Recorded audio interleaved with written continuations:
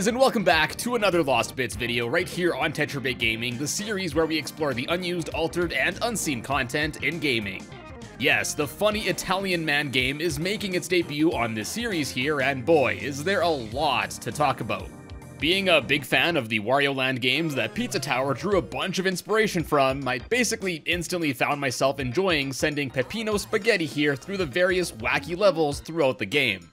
Anyways, Pizza Tower has had quite a long development history, and as such, there is a whole ton of content that has been added or removed over the years. So much so that I'll definitely have to split this game into parts, so if you're interested in seeing more of this game on the channel, be sure to let me and Peppino know with a like down below. For this video though, I'll be mostly focusing on the final release version of the game, and more specifically on various scrapped mechanics, graphics, and more. So grab a slice of pizza, it's time to find some lost bits. Alright, so to kick things off here, something that some of you might not know yet if you didn't play any of the pre-release demo builds of this game, is that originally there was going to be a few more playable characters in Pizza Tower than just Peppino and Gustavo for those two levels or whatever. And these playable characters are actually three of the bosses that you encounter in the game, with each of them being referenced by a single letter in the game's code. V for Vigilante, N for the noise, and Pepperman is referenced as M actually since P is already taken by Peppino. What's awesome though is that by fiddling around with the game's coding, remnants of these playable characters can actually be reinstated into the game. You can essentially swap Peppino's animations for the corresponding ones for each other playable character, and you can also basically re-implement their moveset and characteristics too. Pepperman is the least developed of these characters, as apparently the plans to scrap him being playable was made much earlier on in development. Now apparently he was only planned to have been playable in the Refrigerator, Refrigerador, Freezerator level, and what remains of his moveset is really basic. He can dash left and right, ground pound, as well as taunt, but only mid-air for some reason. So yeah, his moveset is quite limited, making it pretty difficult to play through the game in this current state. Pepperman is also the only one of these playable characters that was never even playable in any build released to the public. Then next is the Vigilante, who would have been able to use his gun against enemies instead of Peppino's dash attack, and would have also had his iconic rollout move. Now one interesting quirk about the Vigilante is that when dashing, his speed caps out at Mach 3, and as such, he isn't able to break through the metal blocks seen in the game. To combat this, he was intended to have been able to use his dynamite attack that's seen in the boss fight to break these. However, this move was coded for using a fourth button or key input which was removed from the game, and as such, this move can't really be used, so any stages with metal blocks aren't exactly playable with the Vigilante. Furthermore, he also can't use any of Peppino's transformations, so any stages that require those are also a wash. The Vigilante is also unique from the rest of the characters in the fact that, unlike every other character who can't die from taking damage, he actually does have a health system coded in for him. The default starting value is 100 hit points, taking damage would take away 25 HP, and health was to be recovered by collecting pizza toppings throughout a level, with the mini ones recovering 1 HP, and the bigger ones would recover 20. It sounds like an interesting mechanic, but I must say, in the spirit of the Wario Land games, I much prefer there to not be a health system. And finally, the last of the unused playable characters is the Noise. Now, whereas Pepperman is the least developed playable character, the Noise is basically the opposite as he was playable in the game for years during its development demos up until around mid-2022. Although when re-implemented into the game now, his moveset matches Peppino for reasons we'll get to in a bit, in earlier points in developing this game, he actually had his own unique moveset including using a jetpack, being able to bounce around using his pogo stick, and more. Although it's not 100% clear why all of these characters were only kept as bosses and their playable aspects removed, the main developer of the game, McPig, had stated that he didn't really want half of the playable characters to be restricted. I assume in terms of their movesets, so I guess in order to keep the level experience uniform across the board, the decision to keep the baseline moveset was chosen. And this philosophy was especially seen in how the moveset of the noise was changed. I alluded to it a bit earlier, but probably the main reason for the moveset change is that there's actually a whole two-player co-op mode for the game that was scrapped. In this multiplayer mode, players could either help each other out to clear a stage or grief each other if they were feeling a bit more competitive, with each player striving to get a higher score. And yeah, in order for both players to be on even playing grounds with neither having any advantages or disadvantages, the decision to create moveset parity, regardless of which character was chosen, was made, and as such, the noise had his moveset altered. Now I think a multiplayer aspect to this game would be awesome, so I'm really hoping that one day something like this does get implemented, but I'm sure based on how fast this game is, it might be tough to implement unless each player would have their own screen. Interestingly enough though, there are still some remnants of this mode left in the game, but unfortunately they aren't exactly complete. Far from it in fact. And this co-op mode isn't the only mode that didn't make it into the final game, as there's also a hard mode for Pizza Tower that was scrapped. And unlike the co-op mode we just went over, this hard mode is found much more complete, and in fact is actually really easy to re-enable in the game to boot. Basically, all you have to do is enable the debug command in the Steam launch options, press F5 to open the command window in-game, and then simply type in hard mode true, and that's it, the hard mode is now re-enabled. Anyways, as you've been seeing, the main gimmick that hard mode would enable is the introduction of another scrapped character, Snick EXE, who is definitely not a parody of anything else. In this hard mode, Snick will basically be an extra annoyance and will throw down enemies to try and mess you up. Now the extra problem is that you actually don't want to defeat any of the enemies thrown down by Snick, as for every two that are defeated, this also scrapped heat meter here will also go up. And once maxed out, Snick can spawn up to 4 enemies at a time, and it isn't until you take damage that the meter will go back down to 0. It's a cool little extra mode that I think could have offered a bit of extra challenge to those that are absolutely crazy at this game like some of the top speedrunners are. And speaking of the heat meter, now's a good time to dive a bit deeper into it. Although it did make its way into this hard mode, as we discussed, this actually wasn't the original way it was intended to work. Instead of being tied to Snick throwing down enemies, it was instead once a big part in a level's progression as you would increase the heat meter the more enemies that you would defeat. And as the meter increased, different effects would be triggered, enemies would start to move faster, and then ultimately there would have been a rage mode where enemies would unleash new unique moves that they otherwise wouldn't ever use. Similar to the combo system that is seen in the final game, the goal was to keep killing more enemies as fast as possible to get a higher score, while also avoiding taking damage. Now, feelings around this heat meter were apparently pretty divided with some fans not really feeling it was a good addition, and as such, over time the mechanic of introducing exclusive moves was cut, and the heat meter would only allow for extra score until ultimately the mechanic was completely removed. Well, at least in terms of normal gameplay, as there are still several otherwise unused graphics for the heat meter left over in the game.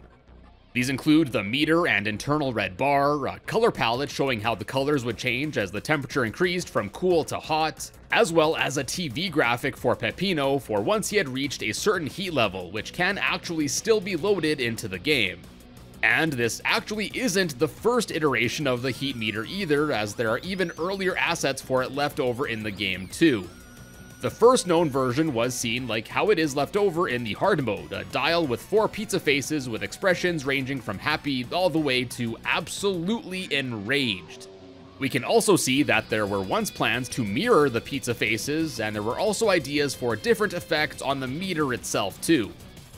Then another iteration for this heat meter idea was instead named Style Bar, and for this, thought bubbles would have appeared above Peppino's face in the heads-up display, from mild to antsy to mad, and then finally the maximum level, crazy. And furthermore, there are also several additional graphics for combos associated with the style bar as they are referred to in the code as Style Pizza. These include several graphics that would have appeared under the TV heads-up display graphic, and each multiplier would result in a different pizza type. Pizza Pizza, OK Pizza, Super Pizza, and finally, Devil Pizza. And then lastly, there's yet another iteration of these multiplier graphics, and here we can see them describing the multiplier. Cheesy would have been a basic 1x multiplier, mildly spicy would double, Then there's stupid, not bad, but not hot dog. And finally, of course, hot dog, which would have offered a whopping 16 times multiplier. It seems like there were a bunch of really cool ideas for this meter, but it looks like to keep things simple, the more basic combo meter that we got is what the developers had settled on keeping as the method of increasing score for defeating enemies. Now before we move on, if you're enjoying the content and would like to help support the channel, consider becoming a channel member. It really helps me out a bunch, and you'll also get some really nifty channel perks to boot. Click on the join button below for more information. Anyways, next, let's switch gears and talk about the numerous unused graphics that are left over even in the current release of the game. And here, I first want to start with some of the most basic looking graphics as they're basically just concept sketches. And these are for several scrapped attacks as well as phases for the final boss in the game, Pizza Head. For starters, there are some early sketches of Pizza Head looking down, extending his arm to grab something beneath a level, and then grabbing a spicy picture of himself before shoving it back down as he does in his battle. And then there's also this sketch of him seemingly throwing something, presumably the crate with the gun, as is also featured in the fight. Now one sketch that reveals something a bit different is that here we can see that once Pizza Face was defeated, initially the idea was to see Pizza Head controlling it instead of him just sitting on the throne, as he ultimately ended up doing. Then next, there's also this early sketch of Pizza Head jumping out of Pizza Face instead of just getting launched upwards as is seen in the final game. Oh, and we're just getting started here, as there are a whole bunch more early sketch graphics of Pizza Lad over here. Next are several sketches of some unused attacks meant for the second phase of fighting Pizza Head. These include him appearing in a musketeer getup, him being apparently shocked after throwing a portrait of some sorts. There's actually a whole animation left over of Pizza Head opening up a present which would have resulted in a backwards boxing glove spring attack. There's a scrapped attack in which Pizza Head would carry and drop a large bomb before then running away from it, and then there's also some sort of scrapped attack where he would have pulled up a derpy looking rat and just ate it. Yeah. Now lastly for these sketches, there are several that appear to reveal a third phase in the fight against Pizza Head that was cut. Originally, apparently the fight wasn't going to consist of the gauntlet of fighting previous bosses encountered in the game, especially considering they were probably still going to be playable characters at this point and not just bosses. And instead of this, there would have been a final phase where Pizza Head would become enraged and would have had some new moves to utilize. These include a dash punch or dash face slam into the ground move, him screaming Get out at Peppino, a spinning punch and spinning kick attack, a punch with a giant arm, as well as a kick where his leg would seemingly extend a great distance. Now, apparently, according to the devs, they wanted to keep Pizza Head's image as being a goofy clown and not a crazed fella. So yeah, I guess they decided to remove this third phase and slipped in refighting the prior bosses instead. I think it's too bad because I felt like the final phase of fighting Pizza Head was a bit underwhelming. Now next up, although moving away from the concept sketches, the next graphics all still look quite unfinished. First, there are several placeholder graphics that are left over from an old Patreon exclusive demo of the game. Since at the time there weren't proper graphics for displaying a rank or level name, these placeholders were implemented to display the level name, a title of sorts of the area, as well as a placeholder graphic for the lack of score and rank for a level. Considering how far away this demo was from the release of the game, it's pretty wild to see that these are still kicking around in the game's files. Then next up, there are several black and white placeholder sprites of Peppino, as well as the noise meant for the cutscene where the balloon slams into the background during the transition to the second phase of the fight. Here we can see the duo looking worried, screaming, and then once again looking, uh, quite concerned. Moving on, there are these four early versions of the cards seen in the fast food saloon level, as well as several graphics for the heads-up display that went unused, including graphics that would actually show your speed level, a slot that would indicate if you had a key in your inventory, a scrapped reload timer that would have appeared as a pizza and would indicate how long you had to wait in between shotgun blasts, as well as a graphic for it completing. And there's also a scrapped monitor, which would have seemingly indicated that you had a backup shotgun. This appears to show a scrapped mechanic where you could either hold different weapons at the same time, or that there would have been a chance that you could lose a weapon in some way. And lastly, there are two more bouncing HUD graphics that were scrapped, a bullet supposedly for an ammo counter, as well as this jerry can that would have been used for some fuel mechanic in the game. Now next, there are a plethora of early and unused animations for the heads of the Vigilante, the Noise, as well as Peppino. Similar to how the monitor heads-up display system works for Peppino in the final game, these are a leftover from earlier demo builds where just the head of the character you are playing as would appear on screen and would change depending on what occurs in gameplay. For the Vigilante, he's got an idle animation, one for taking damage, one for healing by collecting toppings as we went over earlier, one for speeding up, taking out enemies, as well as one meant to be seen during pizza time. Then for the noise, I guess being more of a fleshed out playable character at the time, he's got a lot more of these and there's everything from idle to getting and using the knight transformation, running at Mach 1, 2, 3, and 4, one for holding a bomb and getting blasted by one, taking damage, unlocking a door, ground pounding, taking out enemies, being low on health, being angry, as well as one apparently meant for taking the lead in the scrapped co-op mode. And finally, we of course have Peppino himself, who for some reason for these files has his name misspelled. For these, Peppino largely has animations for the same situations as the noise we just went over, but additionally, he also has one for rolling as well. Although Peppino still had a default white shirt and hat in earlier builds, interestingly, in these, as you can see, he's seen in his yellow attire. Then, also left over in the game, are graphics for this old pause screen which would have featured only three options, each with a different Peppino facial expression, continuing, retrying a level, as well as returning back to the title screen. Next up, Captain Pizza Goblin, as seen in the Crust Cove stage, originally had a much different design. He looked much more human-like and had a red tricorn hat instead of the black skull one that the final design uses, he would yell fire seemingly after every shot, which I could see getting annoying. And then lastly, there's also this unused ending animation for when a player would clear the section that he's seen in, where his own cannon would explode on him, which I think is much better than the animation that was used in the final cut.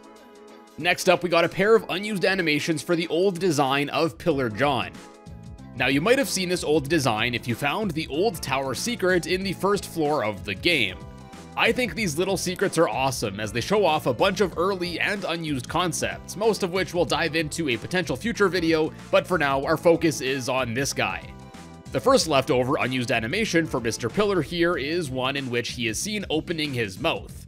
And this is actually from an also scrapped mechanic in which before bashing him to activate pizza time was even a thing and pizza toppins were to be used for progressing to the floor boss, the player would have instead had to feed John Pillar all 5 toppins within a level to proceed. And after feeding him all 5 toppins, he would give the player a nice grin, and this is also an animation that's still left over in the final game too. And while on the topic of scrapped mechanics, next up we have this screen that would have been used after beating the game. Instead of being given a completion rank which you could improve by going back and finding more secrets and such, Originally, once you had beaten the game, as you see in this graphic, your judgment would have been final, and you couldn't do anything to improve your judgment other than to delete the save or just start another one. I think this would have been a bit excessive and probably would have turned off many players from trying again, so I'm glad this change was made. And now, last up for this video, there are several sprites of either early versions of Peppino's transformations, or some that never got to fully see the light of day. Originally seen in the credits for a 2018 demo build of the game, there were basically teasers of upcoming transformations that were planned to be added. For those that did end up getting implemented, we got early transformation graphics for the Cheese and Cheese Ball, Barrel, as well as Pizza Box. And then for the transformations that didn't quite make the cut, some spinning transformation that would make Peppino seemingly get sick, one where he would become red, one where he would seemingly run fast, one where he would get drunk or something, and this seems to have taken inspiration from Wario Land's Crazy Wario.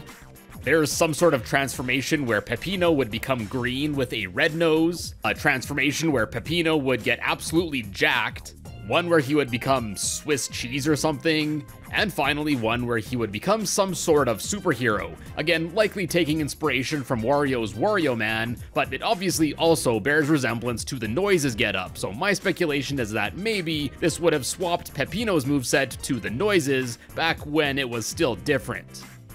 Although I am certainly a big fan of the designs and range of all the different transformations that were implemented in the game, I still can't help but feel a bit disappointed that we didn't get at least a few more of these. But I guess ultimately they may not have worked in the game with how the devs had intended. Anyways, we'll wrap it up here for this video, but that's certainly not it for this game's unused content. Not even close. Like I said, as long as you guys have interest in these videos and keep crushing that like button below, you can expect follow-ups as we have a bunch of really cool stuff to go through, including unused enemies, rooms, and more. Till then, check out some of my other Lost Bits videos, and be sure to subscribe to find your way back here in the future. And as always, thank you all so much for stopping by today, and I will see you in a bit.